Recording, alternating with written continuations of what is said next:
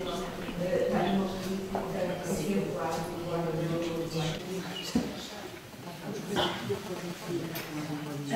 boa noite a todas e a todos. Obrigada pela vossa disponibilidade um, para, cá, para cá estarem hoje. Uh, antes de mais, uma pequena nota introdutória.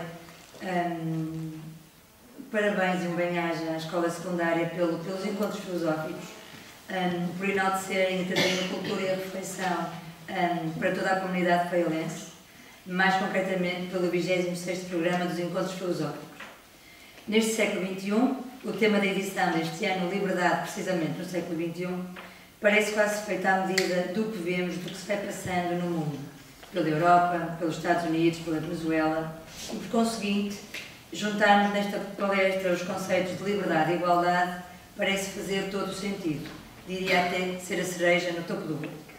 A liberdade e a igualdade andam de mãos dadas, já que só com a plena igualdade de etnia, género, religião na democracia, podemos ter uma efetiva igualdade entre todos e todas. Assim, deixo-vos com a senhora deputada e presidente da Subcomissão para a Igualdade e a Discriminação, a doutora Elsa Paz, quem faço umas breves referências uh, biográficas. Portanto, é socióloga e investigadora no Centro de Estudos Sociais da Faculdade de Ciências Sociais e Humanas da Universidade Nova de Lisboa, exerceu os cargos de Secretária de Estado da Igualdade no 18º Governo Constitucional, Presidente da Comissão para a Cidadania e Igualdade de Gênero, publicou obras como O Homicídio Conjugal em Portugal, Rupturas Violentas da Conjugalidade, Violência contra as Mulheres, Comissão para a Igualdade e para os Direitos das Mulheres e Uma Década pela Igualdade e contra a Violência de Gênero. Preside, na atualidade, a Subcomissão para a Igualdade e Não Discriminação. Obrigada. Boa noite a todas e a todos. Obrigada por terem vindo, por dizerem presente nesta noite chuvosa, em que mais apetecia seguramente ficar em casa, ouvir um programa qualquer televisivo, ouvir uma música, ou ler um livro e estarem aqui. É o sinal do vosso compromisso cívico para com esta causa, que é o tema que aqui nos une, igualdade liberdade, a que eu acrescentaria também solidariedade eh, e cidadania europeia. Eu quero começar por agradecer o convite que uh, a Maria Miguel Pavão fez para estar hoje convosco aqui. É uma honra. O 26 eh, Encontro dos Encontros Filosóficos, por onde já passaram pessoas tão ilustres como Mário Soares e tantas outras. Eu, quando soube isso, disse: Estou, é uma responsabilidade imensa. Vou tentar não estar à altura, mas pelo menos não trair uh, o convite uh, que me fizeram para poder partilhar convosco ideias uh, tão fundamentais como estas para a construção de um mundo melhor. Portanto, muito obrigada, uh, doutora Maria Miguel Pavão, por me ter feito este desafio. foi difícil gerirmos as datas, mas estamos aqui e, portanto, seguramente iremos estar muito bem. Também quero agradecer à nossa moderadora, a Carla Mourão, psicóloga, numa instituição que eu muito admiro, a UMAR, que muito, muito tem feito. Aliás, a UMAR é uma parceira de todas as instituições uh, onde eu estou, porque é uma referência na proteção das vítimas uh, e uh, trabalhar numa instituição destas não é fácil, mas é desafiante. E, portanto, também quando soube que a doutora Carla Mourão ia estar aqui a moderar esta mesa senti-me mais confortável, porque não é moderadora e palestrante, somos duas pessoas que iremos convosco falar destes temas, dado que, eh, como dizia, eu antes estive a ver uns vídeos da Natália Ferreira e dizia, perguntava-lhe entrevistador a determinada altura uh, o que era uh, começar a escrever um livro, como tiveram uma sessão aqui com o João Tordo, que eu admiro muito, porque sou muito amiga dos pais dele, portanto já o conheço há muitos anos, eh, e perguntavam à Natália o que é isto de escrever um livro. E ela dizia, naquele programa Mátria que ela tinha de ver o mundo através do feminino e das mulheres, dizia cada livro é como se fosse o primeiro. Para mim também cada conversa é como se fosse a primeira. Eu já não devia ter receio nenhum de vir qualquer que fosse, porque já eh, falo há tantos anos destes temas, mas é sempre a primeira vez, porque os públicos são diferentes, é como se diz em Abril, eu ano passado fiz o discurso do 25 de Abril na Assembleia da República, num dia muito emblemático, onde eu não sabia o que é que ia dizer de novo e depois lembrei-me de repente que não tenho nada de novo para dizer, mas gente nova a quem o dizer. Porque há sempre gente jovem, e hoje estivemos na escola secundária com jovens, um momento fantástico, onde eh, é importante perceber que eles estão implicados, ou quando não estão, também tentar implicá-los na, na democracia, no exercício do direito de voto, da cidadania, porque se eles não estiverem, e, e os primeiros jovens nascidos uh, neste milénio, não é? no século XXI, vão votar pela primeira vez, que acabaram de fazer 18 anos, se não estiverem implicados e se se demitirem, a própria democracia uh, está ameaçada. Como dizia Maria de Lourdes Pinto há tantos anos, que já morreu em liberdade, eu tive a oportunidade ainda de a conhecer, mas viveu muito em, em, em, ditadura. E foi aí que também teve que se afirmar, eh, rompendo preconceitos, tal como a Natália Correia, nascida na ilha de São Miguel, portanto, mulheres absolutamente fantásticas que souberam o que era o sacrifício da ditadura e enfrentaram-na com coragem para poderem defender os seus ideais e os seus direitos e ousar ser diferente numa altura em que, mesmo estando na política, eh, todos, ainda hoje, nos querem moldar a padrões instituídos. E, portanto, estas referências são fantásticas e elas não se podem perder. E a Natália, a Maria de Lourdes Pinda Silva, eh, a obra emblemática dela é Cuidar o Futuro. E hoje, quando me fizeram a entrevista ali fora, a RTP, veio-me à memória esta ideia de cuidar a democracia.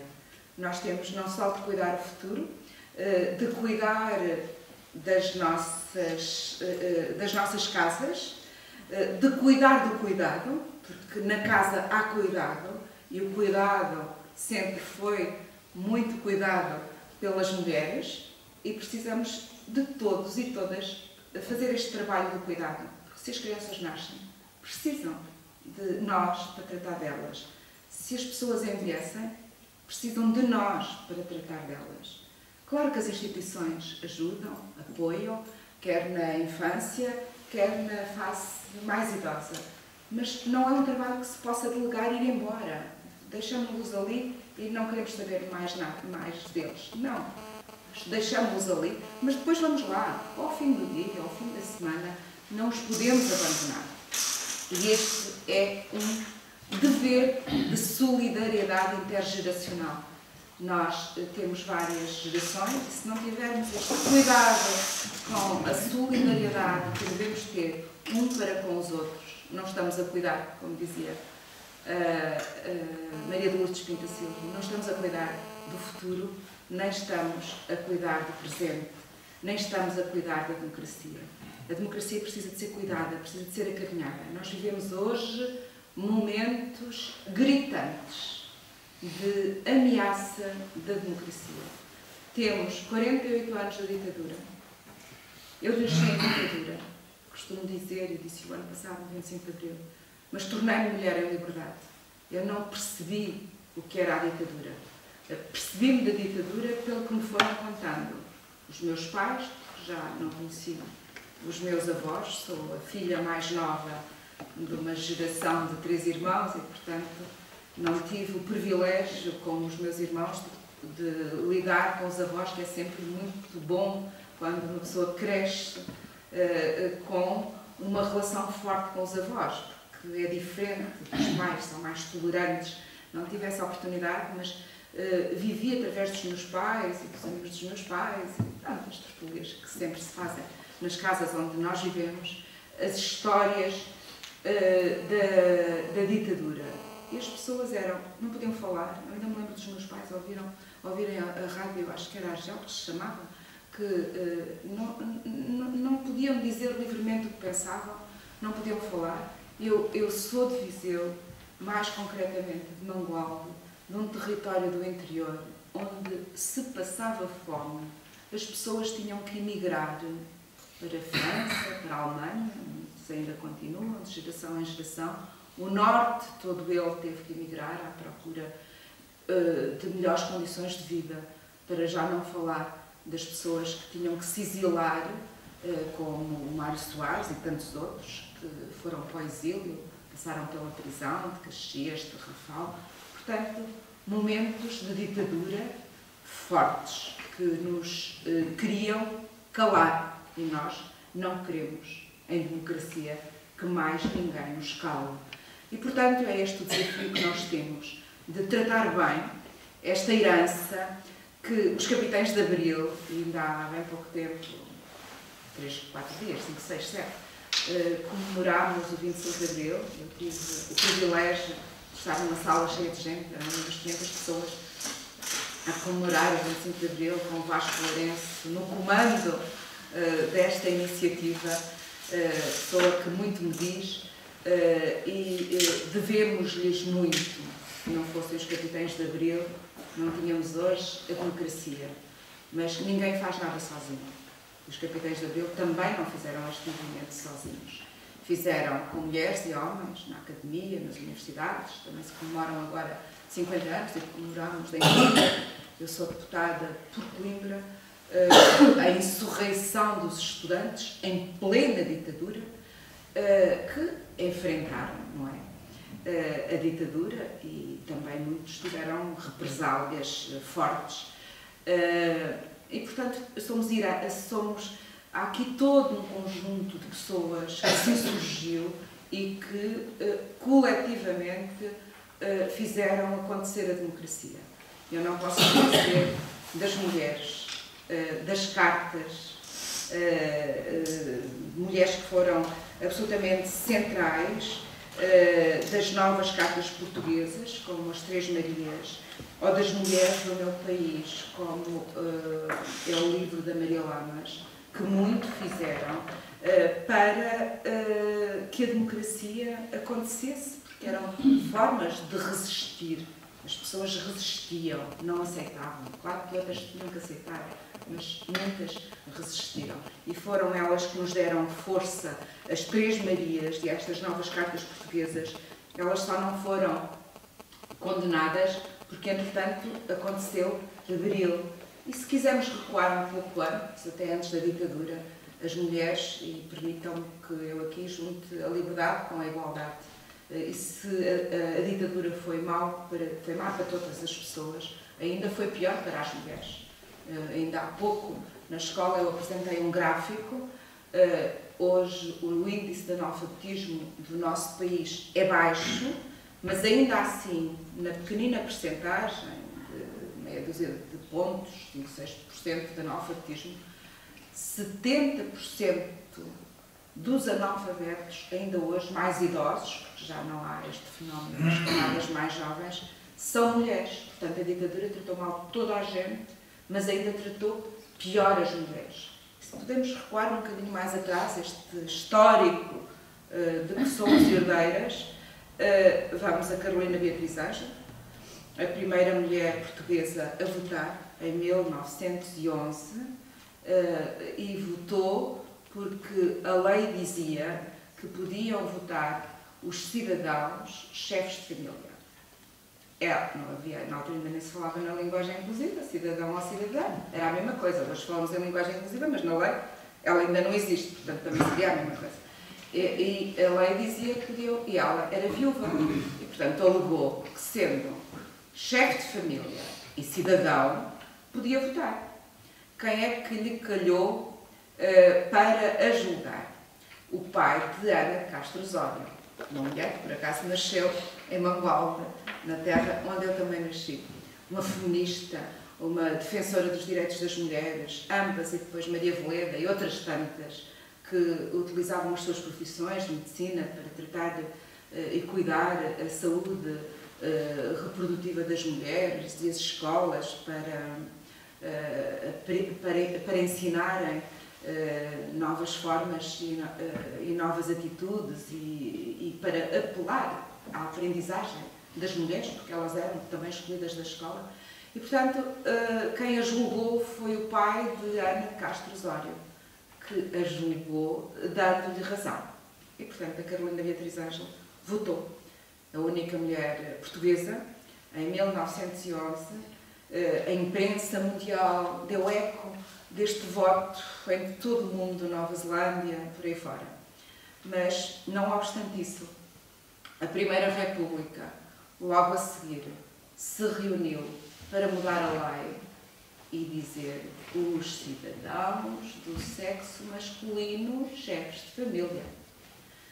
A Carolina Beatriz Ângelo, entretanto, morreu e já não viu esse retrocesso. Isto para dizer que os retrocessos, e portanto deixaram-se ficar, os retrocessos até na República se fazem, até na democracia se fazem. Portanto, eles estão ali, espreitam por qualquer canto, por qualquer lado, e se nós não estivermos atentos e atentas, impõem-se. E hoje, 45 anos depois da democracia, 33 anos depois de Portugal ter aderido uh, à União Europeia que se uh, constituiu em 1950. Uh, eh, temos uma Europa onde os populismos, que são retrocessos, espreitam, estão ali os coletes amarelos, movimentos inorgânicos que querem destruir a democracia. Uh, na Polónia e na Hungria há retrocessos em leis como uh, a não discriminação de pessoas LGBTI, uh, retrocessos em leis como a despenalização da interrupção voluntária da gravidez e, portanto, o sofrimento humano de, destes grupos que são grupos minoritários, mas os seus direitos não são minoritários. Não há direitos maiores nem direitos menores. Todos os direitos são maiores, mesmo quando os grupos uh, a quem se referem sejam grupos minoritários, portanto, estão ameaçados. E é este, era, era o que eu dizia aos jovens. Portanto, se nós, através do nosso voto e através também de tertúlias destas, eh, e de palestras eh, e de, e de discussão de ideias, não cuidarmos da democracia e não apelarmos para que os jovens não se demitam, porque não votar é uma demissão do exercício de cidadania e também da democracia. Claro, dizia-me dizia uma, uma jovem, e porquê é que acha que os jovens não estão implicados na política para votar? Claro que a política não é apelativa, também me fizeram esta pergunta agora os jornalistas da RTP. Não é apelativa, mas é por dentro que nós a transformamos e não é criticando-a, abandonando-a e virando as costas. Portanto, nós temos aqui desafios absolutamente centrais eh, nos tempos de hoje para cuidarmos da democracia, para cuidarmos da Europa, para não deixarmos que o mar Mediterrâneo se continua a transformar num cemitério de pessoas que nos procuram, porque essa não é uma das áreas que eu mais estudo, mas estou atenta, como cidadã e como política, a Europa tem capacidade para integrar todas as pessoas que nos procuraram, todos os refugiados. Somos o espaço do mundo que está com uma taxa de natalidade menor. Estamos a perder população. Portanto, temos território para estas pessoas e, e não seria perda de identidade. A nossa identidade ganha-se quando integra identidades diversas. Ganharíamos nós, ganhariam eles, ganharia a Europa como um todo. A Europa portou-se mal. Uh, Portugal foi uma exceção nesta atitude europeia, porque temos políticas de integração de imigrantes e de refugiados, de acolhimento de refugiados absolutamente extraordinárias. E estivemos lá na linha da frente a ir buscar refugiados, ainda agora fomos buscar mais uns tantos para integrar nos nossos territórios. O Jorge Sampaio tem um programa de apoio a estudantes sírios eh, que estão na universidade, que é fabuloso, portanto não os podemos abandonar, Portugal não abandonou. Mas a Europa como um todo teve um comportamento vergonhoso e nós não podemos permitir que isto aconteça. Por isso, está nas nossas mãos poder uh, decidir e querer uh, uma outra Europa diferente da que temos. E, portanto, com Abril nós aprendemos, aprendemos muita coisa, aprendemos uh, o preço da ditadura, aprendemos o valor da liberdade, aprendemos o significado das escolhas, aprendemos também, mais uma vez, as questões de género atravessam uh, toda a minha cultura política, cívica e, e académica, aprendemos que as oportunidades no feminino e no masculino não são iguais e por isso precisamos de leis positivas de proteção das vítimas e contra a discriminação, porque quando há isto tudo nas mulheres é uma dupla discriminação ou uma dupla vitimação. Eh, não quer dizer que também não haja homens que sejam eh, agredidos, e há, são 15%. Se fosse um, era significativo. Mas o, o que é certo é que a grande maioria das vítimas são mulheres, que são 85%. E, portanto, nós aprendemos que uh, é preciso resistir, é preciso fazer escolhas, uh, é preciso não desistir. Nós sabemos que muitas mulheres ao longo da história, uh, para afirmar as suas qualidades, e não são menores do que as dos homens, embora as oportunidades tivessem sido muito menores. Muitas delas, ainda recentemente, vi um filme que se chamava mesmo Mulheres, onde se via como uma mulher casada com um grande escritor. Tinha sido ela que tinha escrito os livros que depois eram assinados por ele.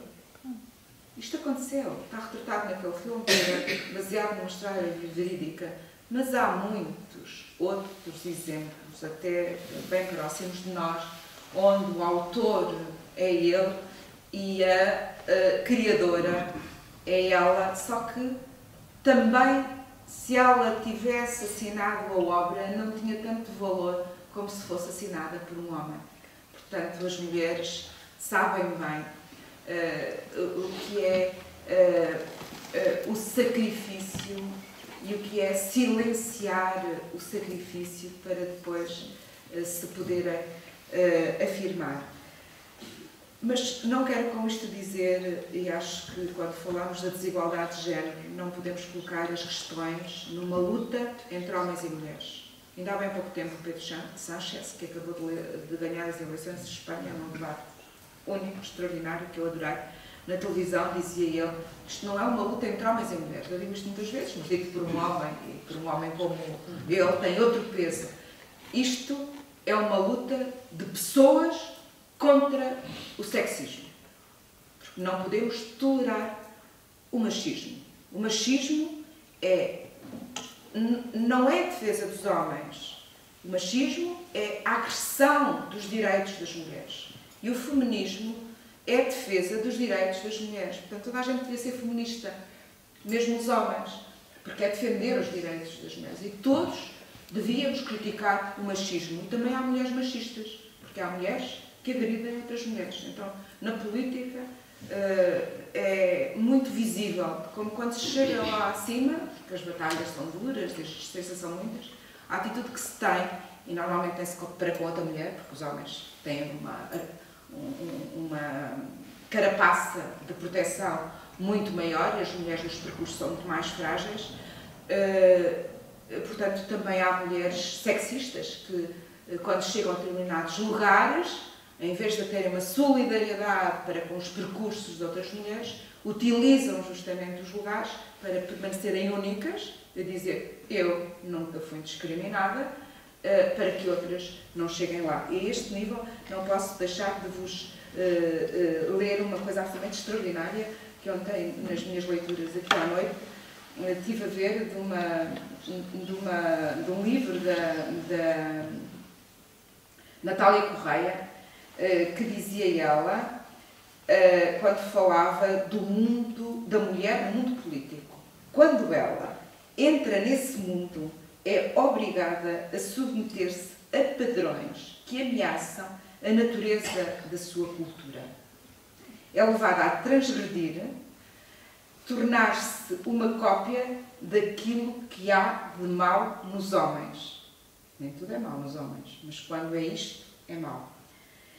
E dizia a Natália Correia, já há tantos anos, a sua ação das mulheres deve ser uma política contra poderes, de recusa, Já Virginia Woolf também nos dizia isto, uh, quando apelava, uh, quando falava da, da, da, dor, do silêncio na dor. Quando as mulheres silenciam a dor, não quer dizer que não a sofram. Silenciam-na, mas sofrem-na na mesma. E por vezes precisam de a sofrer dessa maneira silenciada para depois se poderem insurgir e não permanecerem lá. E outras, infelizmente, permanecem lá. E muitas são agredidas e assassinadas, como aconteceu 13 mulheres nos dois primeiros meses deste ano. É de facto uma loucura. Perguntam-se porquê. As políticas de proteção não estão a funcionar. Porquê isto agora? Eu que sou investigadora de violência de género me interrogo. Porquê é que acontecem estes fenómenos? E uh, uma explicação mais técnica é, obviamente, muito evidente para nós, mas não é para, uh, sem, sem ser discutida. É que hoje já não há muitas mulheres a, a submeterem-se sem reação a contextos de agressão continuada. Elas reagem e, portanto, reagem, denunciam, e muitas já denunciam, felizmente, 27 mil por ano já são as denúncias, e mesmo assim é um terço da realidade que existe, nem todas ainda denunciam, e depois há, há aquelas que denunciam e já não querem denunciar, porque amam aquele homem, mas já não conseguem viver com ele, não deixam de gostar dele, mas também querem denunciá-lo no momento da agressão, e uh, a Carla saberá disso tão bem como eu, logo a seguir já não querem denunciar coisíssima nenhuma.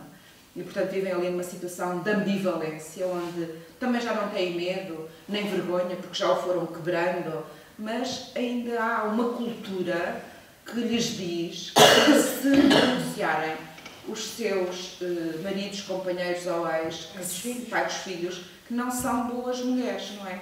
E vivem neste dilema entre denunciar ou continuar na agressão e muitas mantêm-se lá a vida inteira. E outras eh, como não conseguem eh, sair, podem ser assassinadas. E outras até conseguem sair, e é quando saem que são mesmo assassinadas. Porque, e eu hoje também dizia aos jovens, quando estamos perante um crime de violência doméstica, há que ver a situação da vítima e a situação do agressor. Uma pessoa que agride também não está bem. Também é uma pessoa frágil é uma pessoa, aquilo é como que um grito de revolta. Eu agrido porque já não sei fazer mais nada com uma situação de dependência que eu dependo de ti, tu vais-te embora e agora fico aqui desassado, sozinho no mundo. O que é que eu faço de mim, não é? E como não consigo fazer nada de mim, eh, vou atrás de ti, como tu já não queres estar lá para eu te agredir, mato-te. E logo a seguir, mato-me a mim, que é isso que acontece com muitos homens. Saída desastrosa. E precisamos, de facto, de uma educação nas escolas para a cidadania, para a igualdade. E é aqui que a política faz sentido, caros e caras amigas. Para mim só faz sentido aqui. Eh, se conseguirmos uh, definir leis que, porque são positivas, obrigam mesmo os partidos a colocar mais mulheres nas listas, uh, porque se não obrigasse, ainda estaríamos com 5%, com 5% de, de 1975, hoje já são 33%, e agora houve um upgrade da lei que vai obrigar aos 40% nas próximas eleições, e eu acho que vai obrigar mesmo aos 50%, ainda não chegámos lá, um dia chegaremos, porque as mulheres são metade da humanidade. Não somos uma minoria, somos metade, até somos somos mais de 2% do que os homens. E não é uma luta de sexos, é uma luta de igualdade de oportunidades. Uh, portanto, venha à política para fazer leis, uh, desigualdade salarial. Mas cabe na cabeça de alguém que, pelo facto de uma pessoa ser biologicamente mulher e outra biologicamente homem, uh, tenhamos esta diferença de 17% em Portugal e 16% na Europa quando desempenhamos trabalho de valor igual. Não cabe na cabeça de ninguém. Isto é, uma discriminação de género e os países e a Europa dos Direitos têm que encontrar mecanismos para combater. Felizmente, nós aprovamos em Portugal uma lei eh, que foi eh, promulgada e já está a ser aplicada em 2018, mas ainda não se vê os seus efeitos práticos, lá levará o seu tempo. E, portanto, é para isto que a política serve, para fazer leis positivas, para fazer leis que protejam as vítimas, que lutem contra a discriminação, contra o sofrimento humano, e só assim é que uh, faz sentido, até porque já. E, e, é engraçado isto vir das mãos, da boca de um homem. António Guterres, secretário-geral das Nações Unidas, já foi primeiro-ministro de Portugal, uh, no 8 de março deste ano e do ano passado, fez um comunicado onde disse: as mulheres não precisam de favores, porque isto de direitos não são favores, nós não queremos nada. Eh, quando às vezes falam da lei das cotas, uma das grandes profissões associadas à lei das cotas é lá estão elas a querer ir para os lugares, mesmo quando não percebem nada daquilo. Ridículo, não é? Isto é o argumento mais perverso e machista, mesmo quando é levado a cabo por mulheres, que eu alguma vez vi na vida.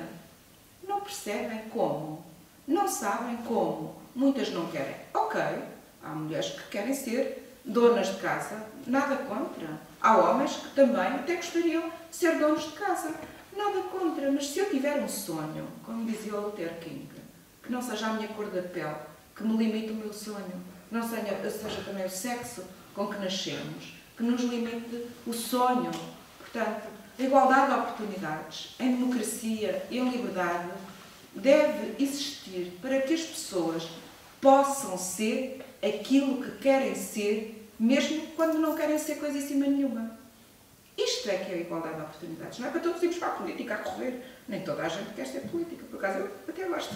Uh, uh, uh, mas também gosto de cozinhar. Também se me disserem assim, agora não cozinhas, porque estás na política, não vais cozinhar. Ficava triste. E não deixava, porque eu também gosto de cozinhar. Portanto, é, são estas oportunidades que não foram não foram uh, alcançadas e que nós uh, temos de conquistar todos os dias, e o Guterres disse bem alto, que nós não precisamos de favores, precisamos de direitos que se exerçam todos os dias e uh, de, de, mentalidades além das leis, porque nós podemos fazer as leis todas do mundo, mas também se não alterarmos a mentalidade das criancinhas nas escolas eh, no pré-escolar. Eu tenho uma amiga que é educadora de infância e que no outro dia me contou uma história que eu achei fabulosa. Ela uh, trabalha com crianças dos 3 aos 5 anos, em Lisboa, numa escola absolutamente multicultural. Tem desde asiáticos, uh, uh, sul-americanos, muitos brasileiros, africanos, tudo. E há um, uma jovem, uma jovem, era um homem, um rapaz, Estava sempre a, a, a, violar as regras todas. A regra do recreio é não deitar as coisas eh, no meio da rua. E quando davam conta, lá estava ela a deitar tudo. Comeu uma xícara, estava um roçado, papel. Ela disse, mas como é que toda a gente a criticava? Ela disse, mas como é que eu vou pôr esta miúda na ordem? Porque democracia é isto, é também aprendemos as regras, respeitá-las e cuidar do espaço da casa comum, não é? Deste planeta que se não soubermos cuidar dele, já lá vou, uh, ele desaparecerá. E então ela utilizou uma estratégia extraordinária. Chamou essa miúda uh, e disse-lhe: As regras sabes quais são, porque estás a violá-las. E portanto, agora vais tu fazer com que toda a gente as cumpra. E quando alguém não cumprir a regra, vais-me dizer: Remédio santo. A miúda que violava as regras todas nunca mais deitou nada sem ser no cesto do lixo. Uh, portanto, é, é, às vezes até, faz, até se faz isto para chamar a atenção. E a cidadania, a educação para a cidadania é perceber o que é que está, qual é a mensagem que aquela criança nos está a querer dar. E aprender a lidar com isso, implicá-la nos processos de construção das coisas. Porque o, o, o, bem comum não nos pode ser imposto de cima, tem que ser construído de baixo. Uh, e, e, esta, esta terra, esta casa, não é? Do planeta, e era este o outro exemplo também do que eu queria falar, também foi uma jovem que veio para as redes sociais, uh, que trouxe com ela movimentos extraordinários de crianças e de jovens a dizer que o planeta precisa de ser cuidado. Não, não foi iniciativa de nenhum adulto, embora nós façamos muitas conferências e violamos outros tratados, como os Estados Unidos está a violar o Tratado de Paris do, do, do Ambiente e, e, e, do Clima, eh, mas foi uma jovem que veio e, trouxe tantos jovens em Lisboa, não sei se aqui também houve movimentos desses, em todo o mundo, em todo o país, os jovens a dizer cuidem, cuidem do planeta, adultos, cuidem do planeta, porque nós vamos herdá-los, não é? Herdar o vosso planeta. Se, se não cuidarem, como vão herdar a democracia ou o retrocesso à democracia? E nós, bem, eh, temos presente o que aconteceu no século XX, onde tivemos uh, a ascensão dos maiores populismos, das ditaduras, do nazismo, mas também tivemos o seu retrocesso. Uh, portanto, vamos lá cuidar disto como bem comum, para que nem o planeta, nem as pessoas sintam muito na sua própria pele que não estão bem em lado nenhum. É o pior que nos poderia acontecer. É não estar bem em casa, é não estar bem na rua, é não estar bem em, em lado nenhum. O que é que resta? Agredir toda a gente. Uh, romper as, as regras. E quando o desespero é tão grande que já não temos mais ninguém para agredir, nem nenhuma regra para violar, agredimos-nos a nós. Ou, até nos podemos agredir quando estamos a agredir tudo o resto. E, portanto, é o caos, como dizia, eu sou socióloga, uh, e ele já falava disto há 100 anos atrás é uma sociedade anómica, uma sociedade onde não há rei nem rock. E isso nós não queremos. Por isso é este, e para terminar, para não me alongar muito, porque acho que agora o debate também é importante, eh, é, é urgente, de facto, nós eh, tratarmos de tudo isto eh, e, como diz Eugênio de Andrade, ver mais longe é ver mais fundo, ou também, como diz um provérbio asiático, se queres Ir depressa, vai sozinho. Se queres ir longe, vai acompanhado. Não há alternativa. Ou vamos acompanhados, ou não vamos mesmo a lado nenhum. E o, o vosso Vitorino Mésio, neste mau tempo no canal, aqui entre o Faial e o Pico, eu também fui buscar esta frase dele, que eu acho que é fantástica para rematar aqui esta, esta nossa conversa. Dizia ele que daqui respira-se a maresia Sofremos a melancolia do mar, a sensação de longura, mas também de liberdade e de esperança. A sensação de ser ilhéu. Hoje não há ilhéu. Os ilhéus não são periferia de nada. Europa, e aqui, é, é a centralidade de uma outra coisa qualquer. Portanto, eh, na ilha, ou, no nosso espaço, num quarto que seja nosso, como dizia a Virginia Woolf, nós podemos ver o mundo, ou mesmo, como dizia a Natália Correia, só conseguimos uh, respeitar a liberdade dos outros quando conhecemos a nossa própria liberdade. Portanto, o que é estar isolado? Não é. Embora, por vezes, precisemos de isolamento para alargarmos, para sermos ainda uh, mais. E mesmo para terminar, a Natália Correia, que eu expus no meu Facebook, do cântico do País Imerso, que diz ela, e com a tinta azul desse aceno me pinto, o cais é a urgência, está para falar aqui, da ilha, e o embarque é agora.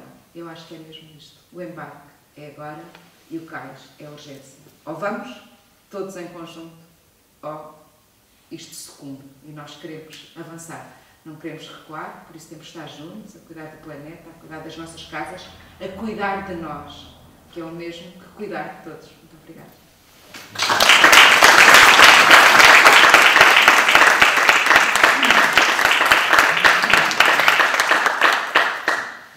Portanto, abrimos o espaço de perguntas.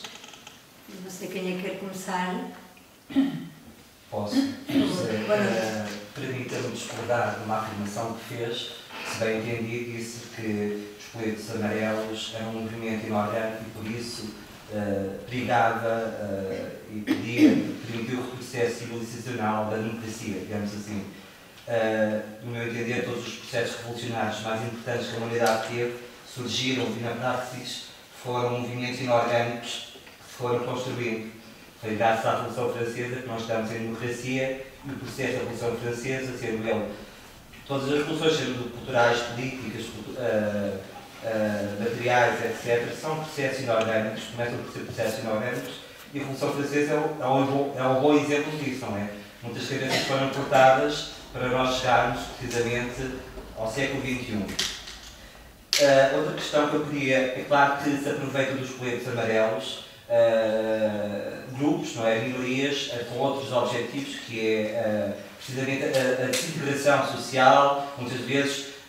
o que eu queria dizer é que a democracia não se esgota, como, como disse bem, na política, no sufrágio, e não se esgota precisamente no pluralismo partidário.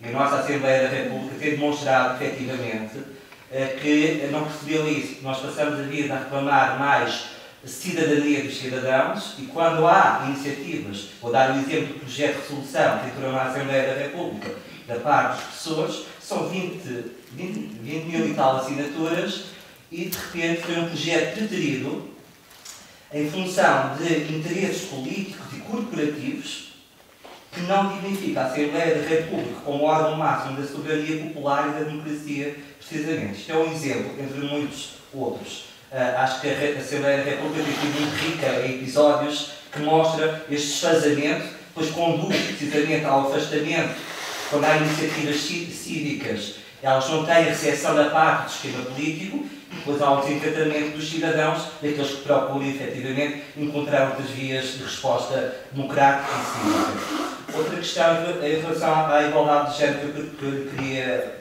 queria suscitar aqui.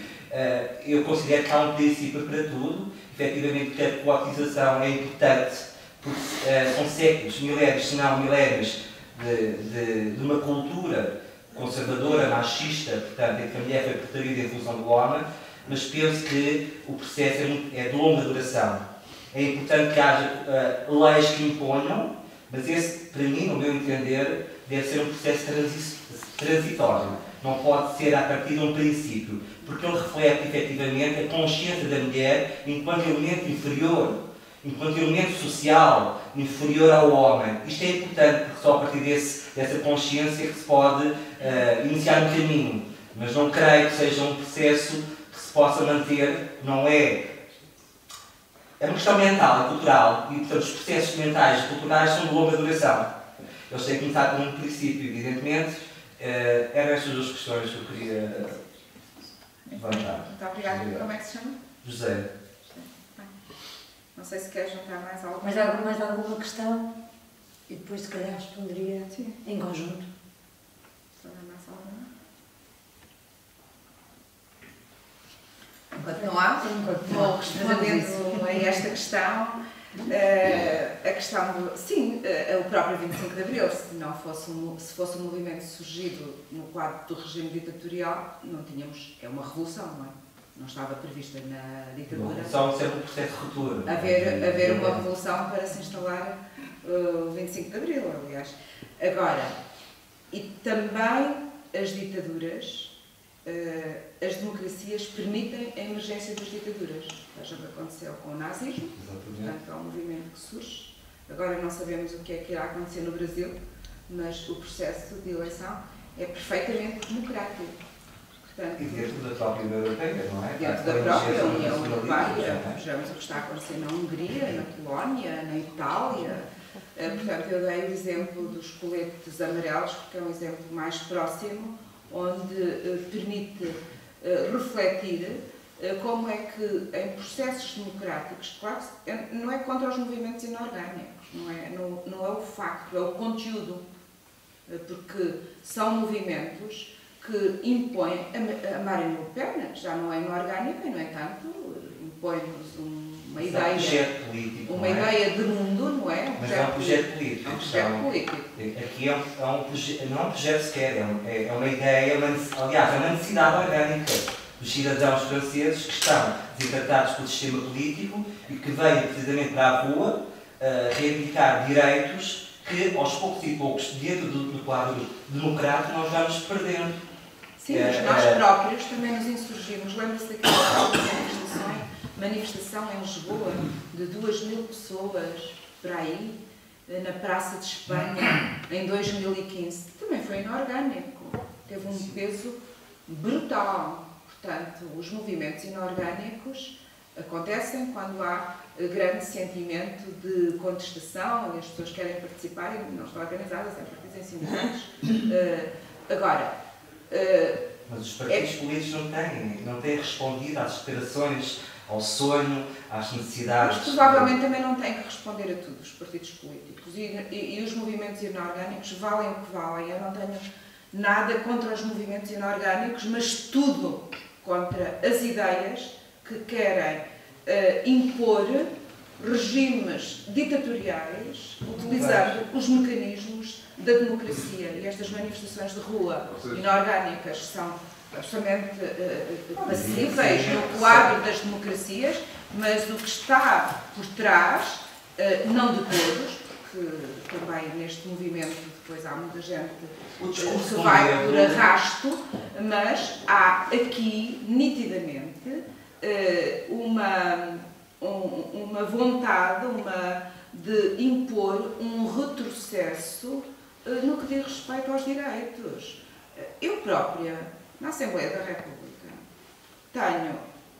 Nós não temos uh, movimentos xenófobos, como tem uh, França ou outros países europeus, uh, mas temos um, um candidato que defende o aumento de, presa, uh, de, penas de prisão para monstros, qualquer dia vai defender prisão perpétua, e se o deixarmos ir mais longe, até pena de morte, não é? São, questões, são projetos políticos, podem ser embrionários. A questão dos coletes amarelos é uma realidade muito mais orgânica, tem a ver com os direitos dos cidadãos, com as necessidades, a questão dos impostos, a educação, a saúde. Eh, é claro que depois há movimentos políticos que se aproveitam precisamente desse comportamento uh, social para, para ascender. Aí estão os nacionalismos, não é? Claro. Uh, uh, o que eu quero dizer é que, num ponto de vista, os partidos políticos, o pluralismo partidário não tem, tem de demonstrar. Não, nós passamos a vida a reivindicar a participação do cidadão ativo, mas quando o cidadão ativo, muitas vezes, toma expressão de forma inorgânica, não tem resposta por parte do, do, do sistema político e da estrutura, que na verdade são uh, o poder é em si uh, a manutenção e o controle social, queramos ou não. Os partidos políticos, sim, impõem aos cidadãos um, um projeto, uma ideologia, porque a vontade da maioria também não deve, não deve ser, como dizem muito bem, concordo, imposta à minoria. Portanto, uh, esta balança da maioria, não é? Face à minoria, não pode ser porque a maioria decide, vamos impor à minoria. É este, é este discurso que não existe atualmente nos sistemas políticos democráticos da Europa estamos a ver precisamente dentro da própria União Europeia a emergência dos nacionalismos que se aproveitam de movimentos uh, cívicos inorgânicos, que é o caso dos coletes amarelos, uh, que sendo inorgânicos são perigosos, eu aí concordo, efetivamente, mas têm um tempo para se tornar orgânicos, não é? E esse tempo uh, está a acontecer. Uh, é neste sentido que eu queria, era aí que eu queria chegar. Uh, a democracia não é um sistema perfeito. Não, longe disso, não é? Mas, Mas de todos, todos os sistemas é o melhor que temos. E demitirmos-nos também. E os partidos políticos têm muitas limitações. Eu estou num partido político, mas não estive sempre. E tenho muitas pessoas, minhas amigas, o meu próprio filho, odeia a política uh, e muita gente porque não se revê nesta forma de gestão da coisa pública. Porque tem muitas deficiências, efetivamente. Questão da ética, eh, falou-se aqui há tempos, há pouco tempo, causa das questões dos subsídios, das viagens, etc. Uh, nem sempre a legalidade reflete, a ética. Quando um deputado, já desempenhou as mais altas funções e desempenho atualmente, diz que uh, foi, foi ressarcido dois direitos que tem, quando na verdade o princípio está subjacente é que ele aproveitou-se de um mecanismo, num direito que tem enquanto deputado, mas depois aproveitou-se também de um direito quando o Estado é a mesma entidade. Ou seja, eh, esta é questão da ética, eh, e volto àquela questão que coloquei logo inicialmente, a Assembleia da República, ultimamente, como acontece na maioria dos Estados europeus, os sistemas políticos não têm, dado, uh, não têm respondido às expectativas sociais e não têm sido referência, o farol, precisamente da ética democrática e daí esse desencantamento das pessoas, em Portugal mais ainda porque a educação é extremamente importante para esta visão cívica, uh, isso é muito mais verificado, é? Nas sociedades do Sul, da Europa, uh, tem uma matriz cultural também uh, relativamente diferente aos países do Norte. Eu concordo consigo, mas sabe que uh, eu, como política, também estou cansada de que toda a gente acha que. e esta imagem de que os políticos são os malfeitores eu não tenho essa concepção. Nem eu estou a dizer isso, estou a dizer que uh, os populismos também nos atingem no exercício uh, cívico e ético das nossas profissões. Eu não vou entrar nos exemplos das viagens, porque daria uma grande conversa. de todo modo, é assim, as regras e a clarificação das regras só beneficia até mais quem tem que as cumprir. E, portanto, havia algumas dúvidas, estão a ser clarificadas com novas regras, que não é novas, com regras que estão a ser clarificadas, para que não restem dúvidas. Porque, in extremis, os mais prejudicados com a ausência de transparência e de definição clara das regras acabam por, ser, acabam por ser os seus utilizadores. E, e, e, e cria-se aqui um populismo contra os políticos que também em nada beneficia a democracia, antes pelo contrário, a prejudica. E mais uma vez digo que não é um sistema perfeito. O nosso sistema deve, não é transparente. Deve, não, não é transparente. Não é transparente temos que o aprofundar. A democracia não, não está aprofundada. Nós temos 45 anos de democracia, temos muitas deficiências, seguramente, eh, mas temos que aprofundar por dentro. Eh, há partidos novos que se estão a impor, e não quer dizer que também a política só se faça através dos partidos. Há movimentos cívicos nos quais Uh, uh, muitos de nós, isto é um movimento cívico, eu estou aqui, ninguém me obrigou a estar aqui, vim de livre vontade. Uh, há muitos deputados, seguramente, que não estariam disponíveis a dispensar. Para mim não é perder tempo. Ainda há bocado um colega meu me dizia, um colega meu não, um amigo meu, não é meu colega, me dizia como é que tu andas sempre de um lado para o outro, eu vou chegar amanhã a Lisboa, eu vou a um jantar a Coimbra. E eu dizia aqui à Carla que eu faço isto, para mim isto não é trabalho. E é, não deixa de ser, não é? Mas para mim isto não é trabalho, é eu faço porque gosto desta ação. E quando uma pessoa gosta das coisas que faz, mesmo quando está a trabalhar, é como se não tivesse, porque está a viver. Uh, e, portanto, não podemos. Uh, temos que separar o trigo do joio e não meter tudo no mesmo saco.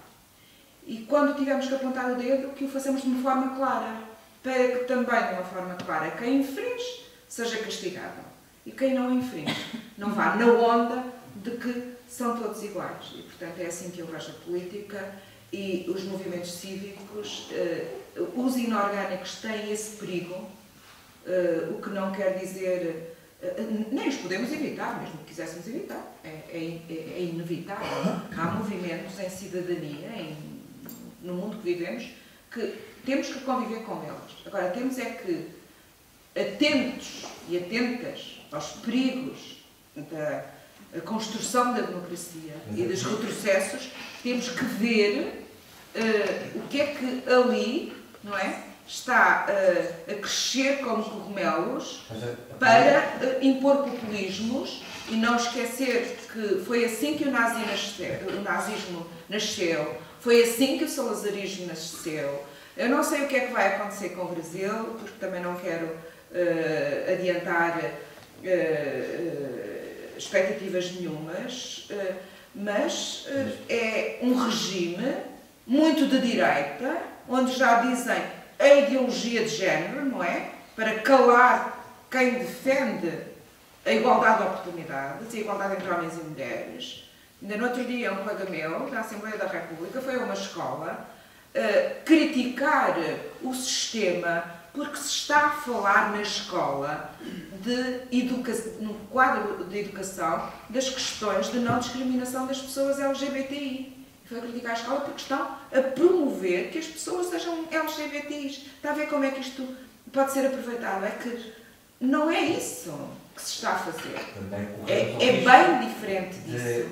E, portanto, os riscos são muito grandes. O que eu acho é que uh, temos que estar com todos os sinais vermelhos ligados num contexto onde a democracia corre sérios perigos de retrocesso. Por isso é que o sistema político deve ser célebre, está a dar resposta às sociedades e às expectativas, evidentemente não todas, uh, e às necessidades dos cidadãos. Pois acontece exatamente aquilo que é emergência dos nacionalismos, os nacionalismos no século XX também emergiram precisamente porque a democracia não foi capaz de dar resposta a tempo útil. E qual é a alternativa? A alternativa poderia ser a democracia mas a democracia não se esgota no pluralismo partidário. Uh, os movimentos cívicos são extremamente importantes, mesmo que inorgânicos, há um caminho a fazer, evidentemente. É claro que esses movimentos inorgânicos muitas vezes são utilizados para, com objetivos políticos, precisamente. Mas a, a política está, está em todos os setores, uh, faz parte da condição humana. Não é? Vejamos o que aconteceu a alguns partidos de grande fogo, não é? em França, não posso referir, ao Partido Socialista, desapareceu. Agora o PP, para não falar só de uma cor política, vejam o que aconteceu em Espanha, em Itália. Portanto, uh, uh, não sei o que é que vai acontecer nas próximas eleições, mas estou em crer que uh, tudo que. E há aí muitos, não é? Pequenos movimentos que depois concorrem, porque há regras deste tipo, então transformam-se num partido político e, portanto, há uma grande adesão a estes novos movimentos por contestação justamente relativamente a uma forma mais tradicional de fazer política. Portanto, estejamos atentos e participemos na construção da democracia com as regras que não conseguimos prever, mas eh, com que ela nos surpreende a qualquer momento. Eh, relativamente à questão das leis positivas, eu não posso estar mais de acordo consigo, porque elas têm que ser transitórias. Aliás, não sou eu que o digo, embora também o subscreva, é o próprio Conselho da Europa e as Nações Unidas. Estas leis devem ser transitórias até que a igualdade se instale. A partir do momento em que se instala, já não precisamos de leis. Tomar não fazer nenhum 8 de março. Era sinal que já não precisávamos de eh, defender os direitos das mulheres que estão a ser agredidos, no seu sentido mais lato do termo, e eh, também há muitos movimentos já pós-feministas que defendem esta ideia de que eh, nós não podemos menorizar as mulheres quando estamos a, a protegê-las tanto na defesa dos seus direitos. Também acho. Não, eu, eu, não preciso que ninguém me proteja, não, porque sei defender-me. Uh, mas a realidade não é assim de uma forma generalizada. Há pessoas que, se não for o Estado a proteger os seus direitos, não conseguem mesmo defender-se.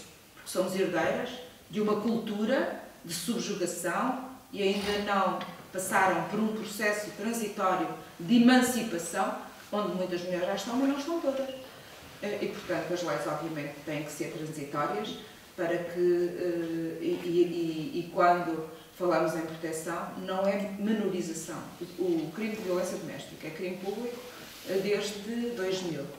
Há um candidato, eu não queria fazer política desta conversa, que defende um retrocesso uh, ao, ao, antes do crime público. Defende que o crime de violência doméstica não devia ser público.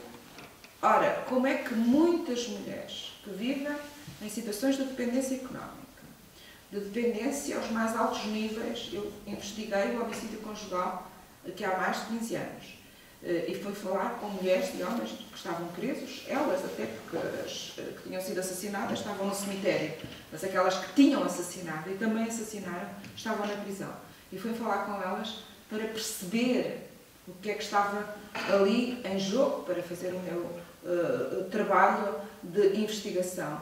Uh, e, obviamente, que uh, se não houver um mecanismo que as proteja, muitas nem sequer têm consciência, porque são herdeiras de uma civilização onde não podiam ter autonomia. Eram os próprios vizinhos que as criticavam quando iam pedir ajuda os próprios pais. quando iam pedir ajuda porque estavam a ser agredidas, deixa lá, minha filha, isto vai passar. A mulher nasceu para sofrer, não é? Tem que sofrer no casamento. O casamento é um sofrimento, portanto, esta ideia de que, que horror, o casamento, o sofrimento. Não, o casamento tem que ser uma alegria, tem que ser uma festa, tem, as pessoas têm que estar bem, não é nada disso. Uh, mas somos herdeiros dessa cultura, do sacrifício, de que uh, a mulher nasceu para aguentar. E, portanto, quando nós temos estas culturas e quando ela não consegue tomar consciência de que vive num contexto de democracia onde pode já não aguentar, alguém tem que fazer por ela. E aí vem o Estado, com as leis de proteção. E as leis de proteção, neste caso, não são uma menorização das mulheres. São, antes pelo contrário, um mecanismo que as pode levar à emancipação. Uh, portanto, a proteção eu acho que não é transitória, porque uh, crimes haverá sempre, infelizmente, ainda não encontramos nenhum sistema de crime zero, e portanto aí os agressores também devem ser tratados, mas se agredirem têm que ser punidos, têm mesmo que ir para a prisão, não tem alternativa nenhuma. E portanto, de todos os agressores até uh, são muito poucos aqueles que são presos, porque a nossa lei também é muito garantística para com os arguídos e para com os agressores, no quadro das leis de liberdades e garantias que a própria democracia também defende, e portanto, como é para todos os crimes, também não deixa de ser para a violência doméstica, uh, e temos um, um, as tendências que temos, que toda a gente conhece, porque são públicas, onde se defende na sua fundamentação, independentemente da pena depois ser mais justa ou não, como defendem, que é os juristas, mas na, na fundamentação daquelas sentenças estão aberrações, não é?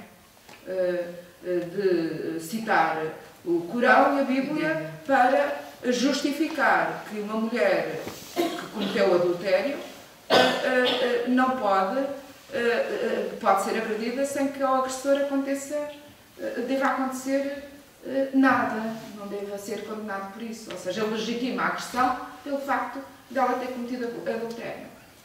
Portanto, isto existe nas sentenças do nosso país. E aquela célebre sentença, que já tem mais uns aninhos, não sei se uh, uh, apanharam isso na comunicação social, um juiz, um juiz, iliba um violador uh, de duas jovens estrangeiras no Algarve, alegando que elas provocaram o violador porque se puseram na coltada do macho latino.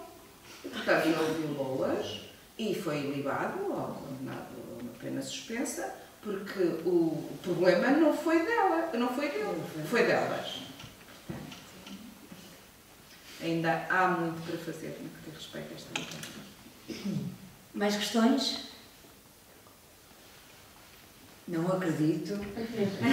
Vamos aproveitar a doutora Elsa para ter mais, mais umas questões.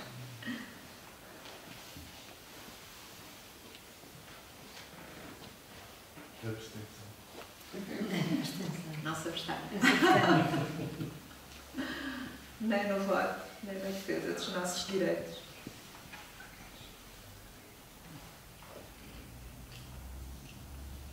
Pode fazer a calma. Bom, um, já que estávamos aqui um diálogo, fazemos aqui um bocadinho um, que falamos um pouco uh, da, da parte da tarde com os jovens, mas eu já agora, enfim, independentemente Uh, temos aqui jovens, uh, jovens, enfim, jovens adultos e adultos também não tão jovens, não importa, que sejam pais. E mesmo que não sejam, não? Posso perguntar se são pais?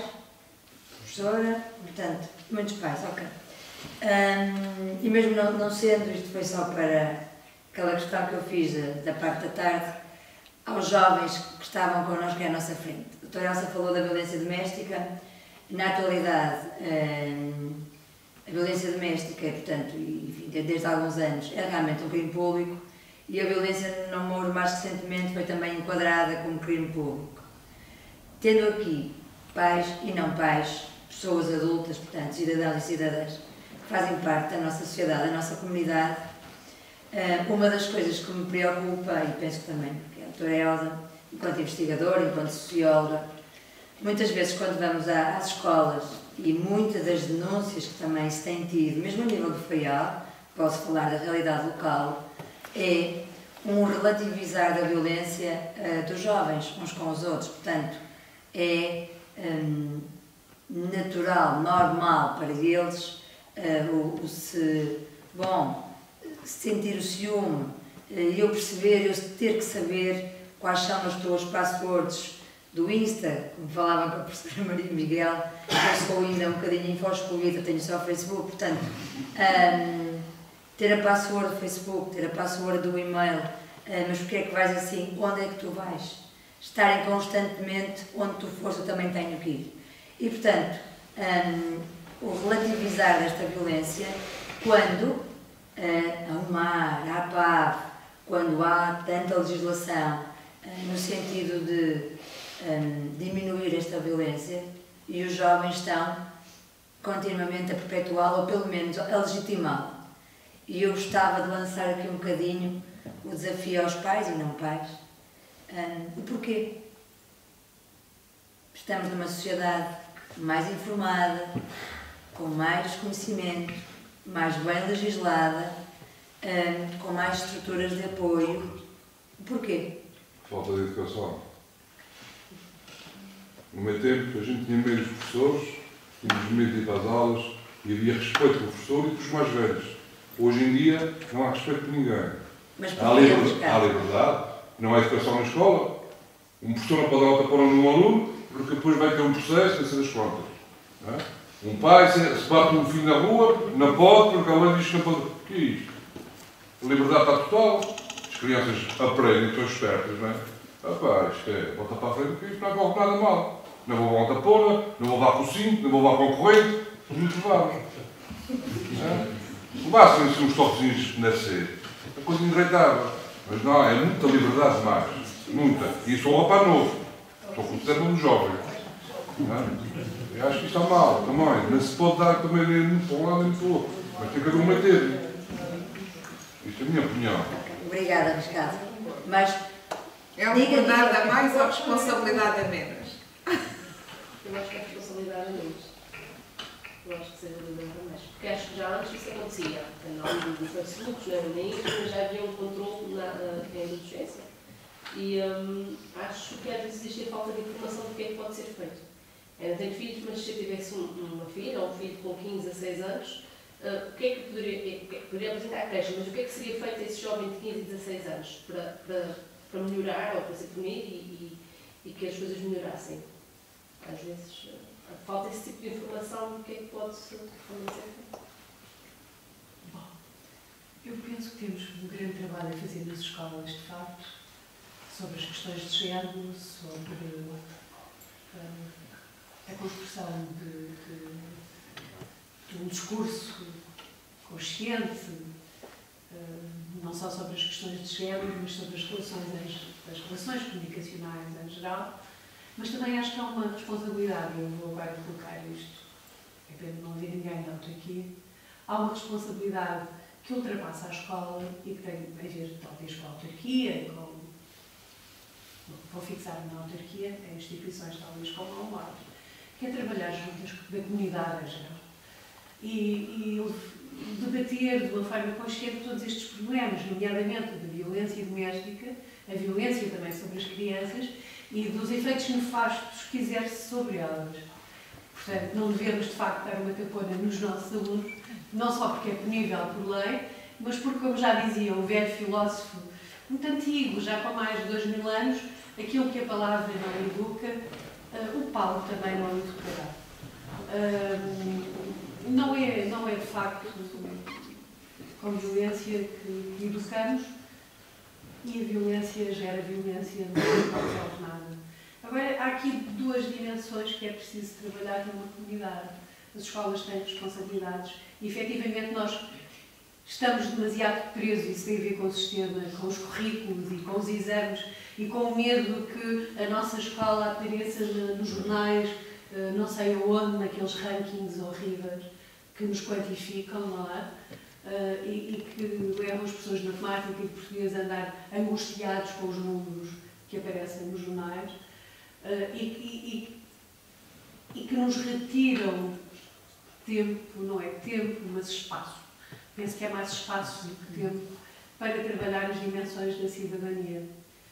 Uh, vai haver alterações curriculares e espero que uh, as escolas consigam corrigir este erro de décadas, porque eu já estou na escola há 32 anos e a cidadania, a cidadania uh, já esteve, e a cultura, e uma escola, eu não vou dizer cultural, como qual foi propriamente, mas preocupada e desperta para as questões culturais. Essa escola já esteve mais perto de ter existido do que há uma década, de, de há 10 anos para cá, não é? 15 anos. Uh, onde nós também vimos inverter, uh, por exemplo, a participação dos alunos. Eu estou-me a lembrar quando havia clubes, imensos clubes na nossa escola, onde a totalidade dos alunos participava de uma forma muito interessante, muito criativa até, deste, deste clube de, de discussão. Tínhamos o clube de discussão, chamava-se mesmo assim. Era um clube que usava a metodologia de filosofia para crianças.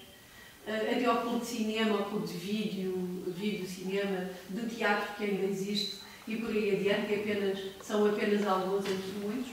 Depois, com as alterações curriculares, chegámos aqui. E não é só. Eu penso que há aqui uma questão civilizacional que é um, o isolamento dos jovens exatamente no, na, nas, nas, redes, nas redes sociais. E que nos retira, uh, portanto, a sua forma de participação é, é solitária frente a um ecrã e que os retirou de, de, enfim, desta comunhão, não é? deste estar com o outro a construir uh, projetos e, e a partilhar experiências. Eu penso que temos que ter energia nas escolas para trabalhar a cidadania e dar espaço aos jovens para participarem ativamente. E, e não é fácil hoje, mas penso que é absolutamente necessário os jovens participarem nas escolhas, participarem ativamente nas deliberações das escolas. E, e de facto não são chamados, ou são poucos chamados. Mas depois, mas depois há esta responsabilidade também que é da própria comunidade, não é? E, e, e, todos estamos num processo contínuo de desenvolvimento e de reflexão. E da família acho, também, não é? E eu acho que a autarquia e as instituições, etc., têm também, juntamente com todos os cidadãos, construir sociedades saudáveis e, e críticas e reflexivas e, e, em desenvolvimento. Pronto, era, eu tive que dizer isto.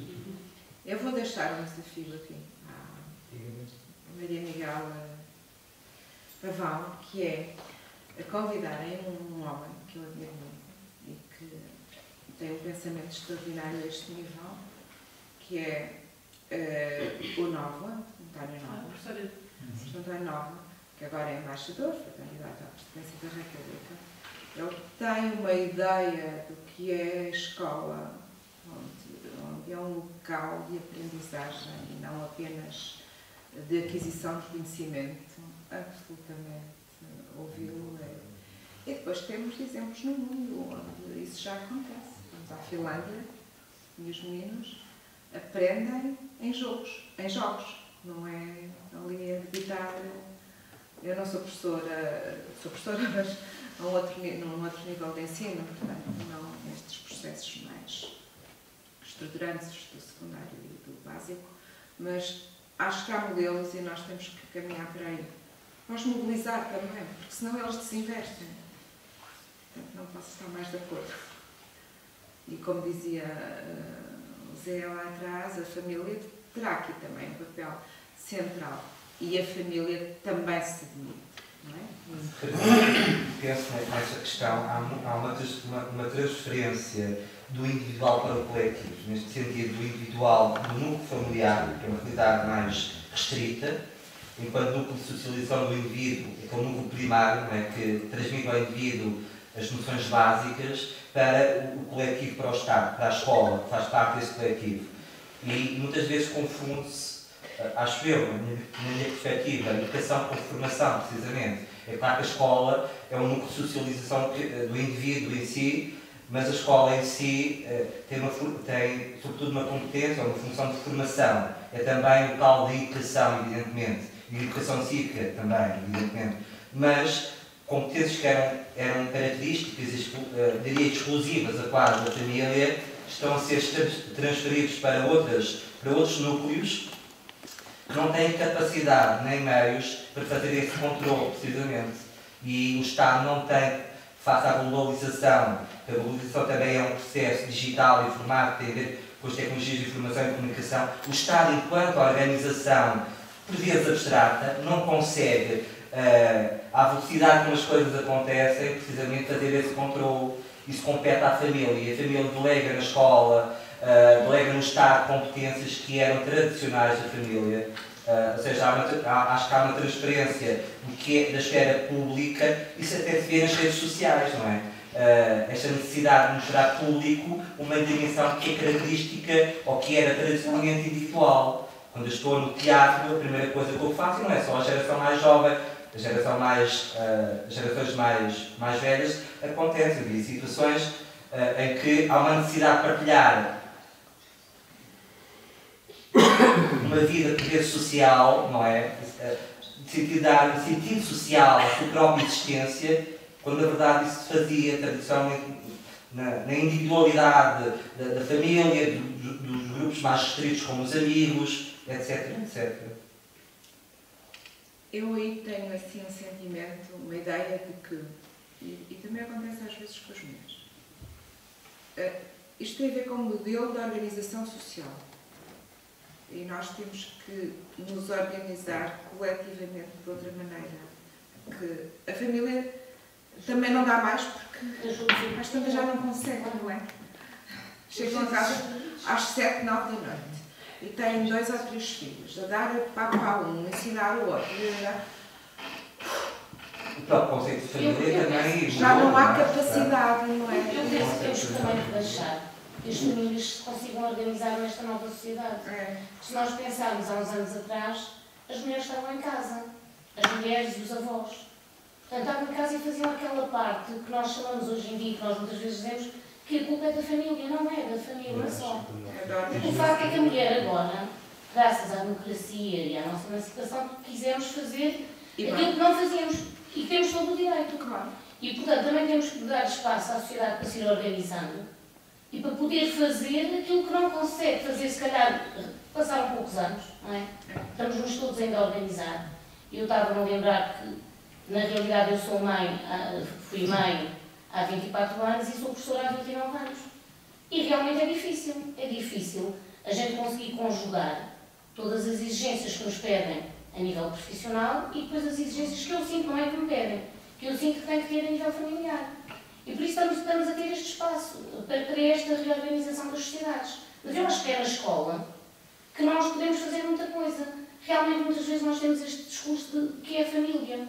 E eu, como sou mãe, mas também ao mesmo tempo sou professora, muitas vezes sinto que é quase como que uma facada, como estão, quer dizer, agora a gente, não, a nossa escola também podemos fazer algumas coisas. E algumas coisas passam por nós alertarmos os nossos jovens. Estava-me a lembrar quando falámos da questão da violência no namoro. Depois até, como é que eu alerto o meu filho para essas questões? Eu tenho rapazes, mas também pode haver violência relativamente aos rapazes. Muitas vezes é pelo exemplo. Como é que eu posso dizer a, um, a uma rapariga que sempre verificou na sua casa, pode não ser a violência dita psicológica, mas em que havia uma subjugação da mulher para o do homem, como é que ela pode perceber que no namoro isso é uma coisa que ela não deve permitir? E, portanto, estas coisas são coisas que nós temos que ir falando no dia a dia com os nossos jovens dentro da sala de aula. Por exemplo, eu no outro dia dizias que os jovens também são muito críticos. E eu abordo muitas vezes com eles as questões que se verificam nível das redes sociais, que é uma nova vivência da sociedade, não é? Em que as pessoas todas criticam, mas depois não se introduzem em movimento nenhum para fazer nada. E eu estava-lhes a dizer eles que eles próprios também dizem. Ah, porque vê-se, as pessoas não votam. E eu pergunto-lhes, quantos de vocês votaram para a, Associação dos Estudantes? Quantos de vocês, quantos de vocês votaram para o Parlamento dos Jovens? É aqui que a gente tem que agir, é fazer-lhes ver a eles que eles também não estão já a cumprir o seu papel. Portanto, se não cumprirem agora na escola que eu digo-lhes, eles têm as suas representações, vão ao Conselho Pedagógico, vão à Assembleia. Onde é que eles tomam essa parte? Vocês preocupam-se em transmitir aos vossos pais as vossas preocupações. Não é muito mais fácil criticar o corredor que isto não funciona bem ou aquilo. Mas vocês são os representantes. E eu, passo, eu penso que a gente não pode sempre estar a passar as culpas para a família. Nós, na escola, temos que ir, pronto, os que conseguem, e fazer alguma coisa de modo que eles também percebam como é que podem ter o seu papel ativo, informadamente e conscientemente, para, para agir na sociedade que temos hoje em dia. A gente passa pouco tempo com os nossos filhos. E por isso é Eu queria só ter essa desculpa. Sim, sim. Hum, nós, da parte, pronto, da parte da tarde, quando estávamos com os jovens, hum, tivemos algumas intervenções hum, e uma jovem dizia, hum, e eu referi novamente esta questão da violência no namoro, e ela, portanto, com 18 anos, dizia é que estas relações de há muitos anos, portanto, estamos a falar de jovens, uma jovem a falar dos jovens, há muitos anos, nós depois Portanto, a pessoa, não é? Portanto, a vítima, seja ele ou ela, torna-se dependente daquela pessoa. Portanto, os jovens, hoje em dia, isto é o que eu sinto enquanto técnica, mas também penso enquanto pessoa, os jovens sentem-se um bocadinho sós. E, portanto, e não sabem, não sabem quem são, portanto, não há aqui uma identidade, portanto, também se está a formar. Muitas vezes não há estrutura, tal estrutura familiar, porque se estão a reorganizar ou porque simplesmente não há são destruturadas. Portanto, não há, há violência, há uma série de outras questões. E, portanto, estes jovens muitas vezes encontram na tal relação de dependência a sua construção enquanto ser humano. E, mas achei curioso uma jovem a falar, portanto, é a opinião dela sobre a, sobre a violência do namoro, portanto, a falar dos próprios colegas, amigos, portanto, conhecidos, que estão numa relação de dependência. Estamos a falar de jovens, 15, 16, 17, 18 anos. Portanto, e que não sabem estar sós. Não sabem ter um momento de alegria, não sabem uh, o que é estar bem sozinhos. Que acho que era uma coisa fundamental que lhes permitia a tal autoestima de que falamos, a tal segurança de que falamos enquanto pessoas. Zé. Porque no processo de crescimento e desenvolvimento precisamente do indivíduo não teve referências e vai buscá-las muitas vezes ao obstáculo coletivo.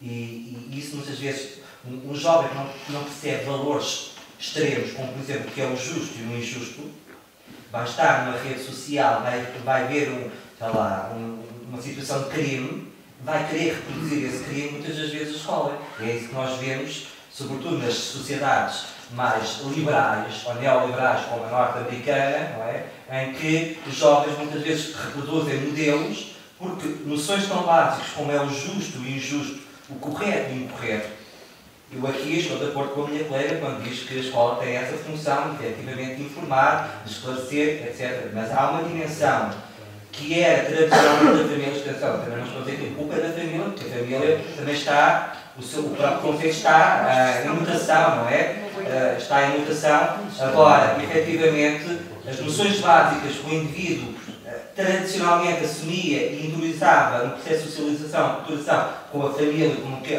como é o bem, o, o mal, não é? o justo, o injusto, o correto, o incorreto, o, esse indivíduo não percebe. E como não tem referências precisamente, vai buscá-las à rádio, às redes sociais, aos amigos e essas relações de dependência, que são precisamente relações tóxicas, porque ele não conseguiu descobrir a individualidade. E para haver individualidade enquanto ser humano, nós também somos um ser social. Aliás, nós não seríamos pessoas se não fôssemos um ser social, não é? Uh, o indivíduo não encontra referências, não construiu, efetivamente, e, e depois fica nessas relações tóxicas e dependentes, uh, e, e, e, isso é característico, precisamente, e, uh, e é interessante essa reflexão, dos mais jovens. Os mais jovens acabam por ter mais preconceitos, não é? Acabam por ter mais preconceitos, porque o seu processo de desenvolvimento e crescimento também ele foi toldado, não é? E é isso que acho que o perigo está aí, não é? A transferência do que é, do que é individual, do que é mais restrito, dos núcleos de socialização mais restritos, como a família, como a família, não é? Para o coletivo que é e será sempre o abstrato. E isso permite fazer caminhos muito solitários, muitas das vezes, quando nós não temos referência. E depois, depois até mesmo aqueles que conseguem encontrar um caminho, por vezes têm uh, processos de retrocesso uh, individuais muito, muito, muito difíceis. É que solidar? A família não consegue passar esses valores. Eu tenho outra opinião, então. Uh, desculpa lá, mas eu sou mãe Uh, e é assim.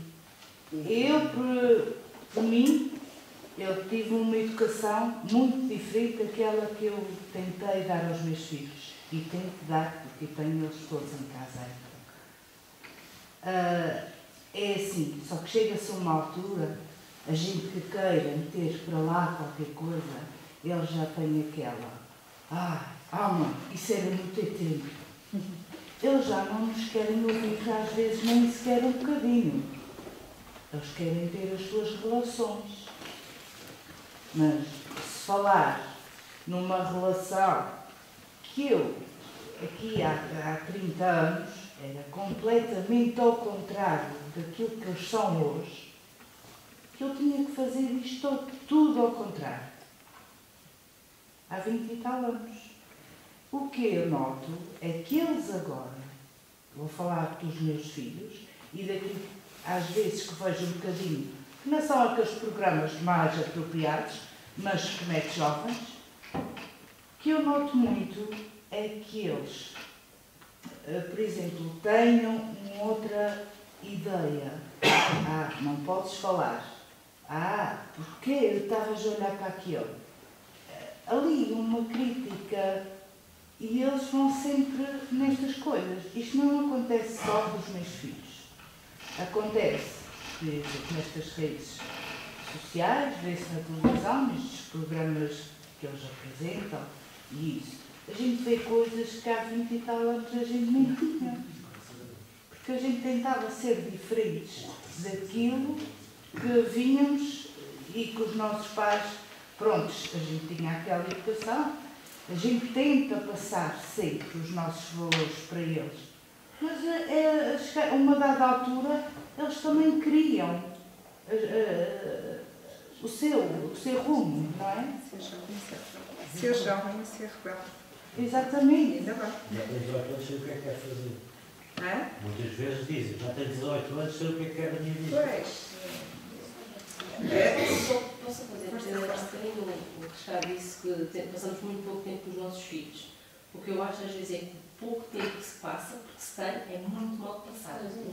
Eu falo com a minha questão da minha mãe, que sempre trabalhou imenso, criou-nos às duas sozinha, mas o pouco tempo que eu estava com ela era com ela. As refeições, principalmente, uma horinha por dia, um almoço, um jantar, era em família.